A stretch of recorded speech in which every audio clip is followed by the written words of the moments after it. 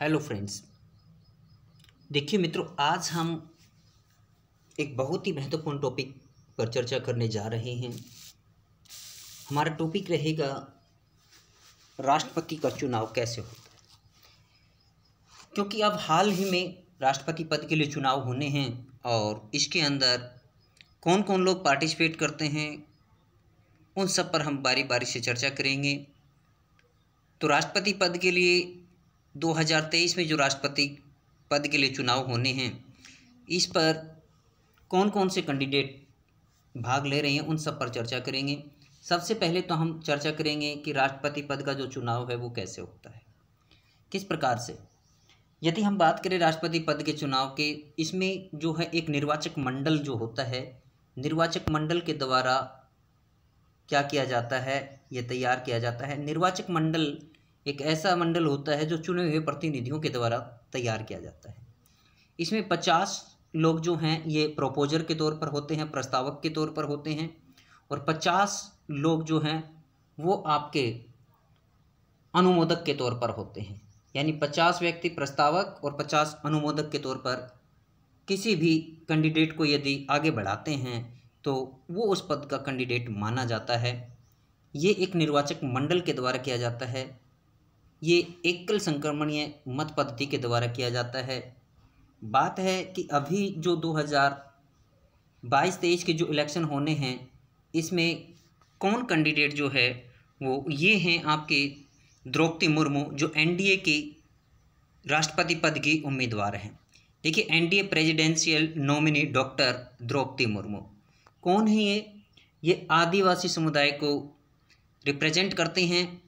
उड़ीसा से संबंध रखते हैं। ये एनडीए के द्वारा चला गया एक बहुत ही बड़ी चाल है, जो कि अपना वोट बैंक और एक तरह से अपने जो राष्ट्रपति पद की दावेदारी है, उसको और भी पुख्ता करती हैं, मज़बूत बनाती है। अब यहाँ पर देख लेते हैं हम राष्ट्रपति पद के चुनाव में कौन कौन लोग पार्टिसिपेट करते हैं। तो देखिए यहाँ पर राष्ट्रपति चुनाव में लोकसभा के जो पाँच सौ तैंतालीस सदस्य होते हैं और राज्यसभा के 233 सदस्य जो सांसद होते हैं, वो इसमें भाग लेते हैं। सांसद जो होते हैं, जो विधायक, जो एमपी जिनको बोला जाता है, इंग्लिश में हम इनको क्या बोलते हैं? एमपी बोलते हैं। यानी राज्यसभा के सदस्यों को भी एमपी बोला जाता है और लोकसभा के सदस्यों को भी एमपी बोला जाता है। ये अगर जो देखा जाए, कुल मिला दिया जाए इनको तो ये आपके बन जाते हैं, सात सौ छिहत्तर कैंडिडेट बन जाते हैं, सेवन फोर्टी सिक्स जो हैं, ये कैंडिडेट बनते हैं। सेवन सेवन सिक्स कितने कैंडिडेट बन जाते हैं ये आपके? सात सौ छिहत्तर कैंडिडेट बनेंगे आपके। Seven hundred seventy six candidate जो हैं ये आपके बनते हैं। इनके मतों की अगर जो कुल वैल्यू की देखी जाए तो वो बनती है आपकी पाँच लाख तैंतालीस हज़ार दो सौ। इस प्रकार से यदि हम इसको सेवन सेवेंटी सिक्स यानी सात सौ छिहत्तर को इससे डिवाइड कर दें तो एक सांसद की वोट वैल्यू आती है सात सौ वोट। तो ये सात सौ वोट, यानी जब एक एमपी वोट डालता है तो उस वोट को इज़ इक्वल टू जो है सेवन हंड्रेड काउंट किया जाता है, यानी सात सौ वोट के बराबर उसका एक वोट होता है। साथ में यदि बात करें तो इसमें आपके राष्ट्रपति चुनाव में सभी राज्य व केंद्र शासित प्रदेशों के सभी चार हज़ार तैंतीस विधायक भी शामिल होते हैं। इसमें आपके जो पुदुचेरी है और दिल्ली है, वहाँ के चुने हुए प्रतिनिधि भी भाग लेते हैं। केंद्र शासित क्योंकि दो ही केंद्र शासित क्षेत्रों के अंदर क्या आपके? चुने हुए प्रतिनिधि हैं दिल्ली और पुदुचेरी के अंदर।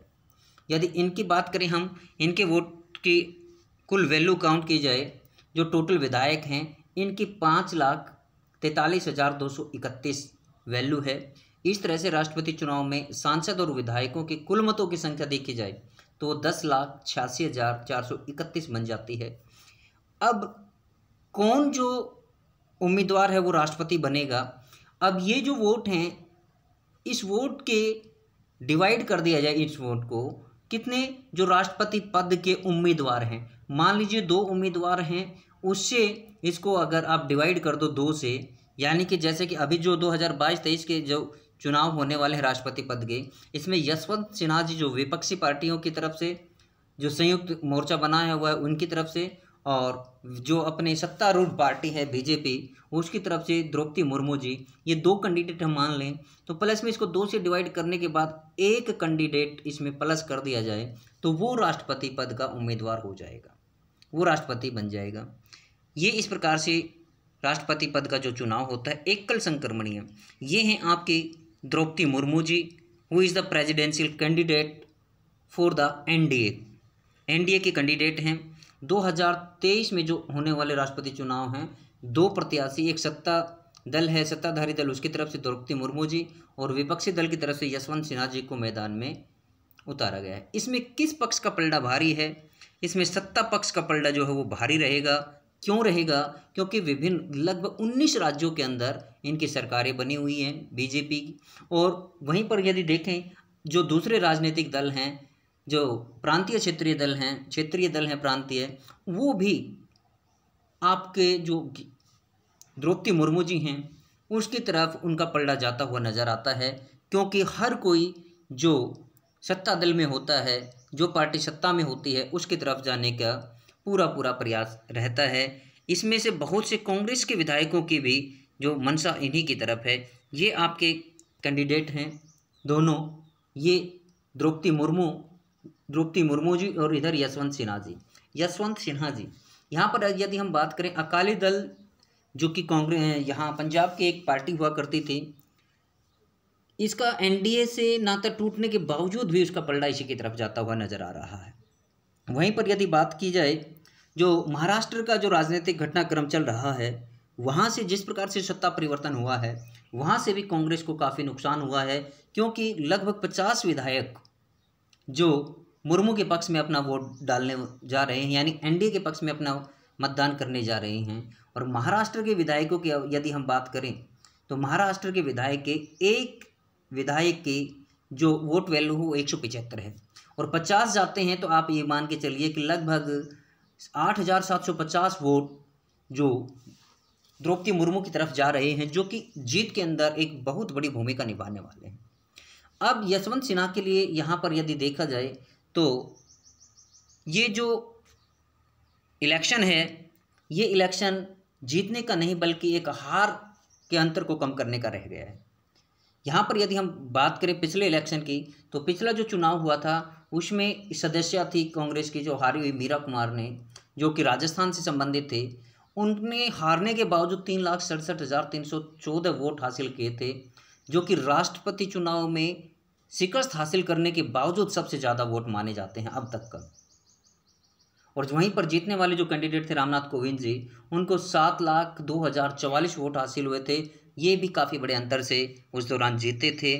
और यहाँ पर अगर जो देखा जाए, सबसे ज़्यादा अगर जो पक्ष मज़बूत है तो वो किसका है? वो पक्ष मज़बूत दिखाई दे रहा है हमें। ये जो साफ़ दिखाई दे रहे हैं आप, हमारे माननीय प्रधानमंत्री श्री नरेंद्र मोदी जी, जो कि विचार विमर्श मंथन की स्थिति में हैं, इनका पलड़ा जो है काफ़ी भारी है, क्योंकि 19 राज्यों के अंदर और साथ में जो प्रांतीय दल हैं, उनका भी इनको काफ़ी ज़्यादा समर्थन मिलने वाला है। और चुनाव से ठीक पहले जो महाराष्ट्र का घटनाक्रम चला है, राजनीतिक परिवर्तन हुआ है, उसका भी इनको बहुत बड़ा फ़ायदा मिलने वाला है। वहीं पर यदि दो राज्यों के अंदर, दिल्ली और पंजाब के अंदर, जो आपकी सरकारें बनी हुई हैं, जिन्होंने अभी तक अपने ताश के पत्ते खुले नहीं हैं। अभी तक अपना पोल सिद्ध नहीं किया है किस तरफ़ जाएँगे। उनकी भी पूरी पूरी संभावना है कि वो एनडीए की तरफ़ ही जाएँगे।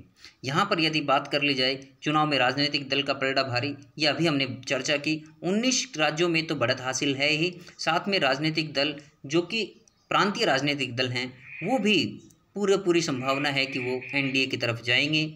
और इस प्रकार से एक तरह से देखा जाए, यशवंत सिन्हा जी के लिए ये जीत तो दूर की बात। यहाँ पर जो पीछे तीन लाख सड़सठ हज़ार तीन सौ चौदह वोटों का जो एक बड़ी वोट बैंक था, हारी हुए कैंडिडेट का, उस आंकड़े को छूना भी एक चुनौती रहेगी यशवंत सिन्हा जी के लिए।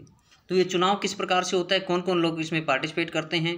कौन इस बार जो है मैदान में हैं? उन सब पर हमने चर्चा की। ये वीडियो आपको कैसी लगी?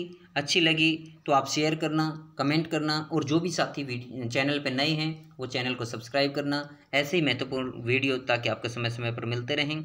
तो आज के लिए वीडियो में इतना ही। जय हिंद, जय भारत।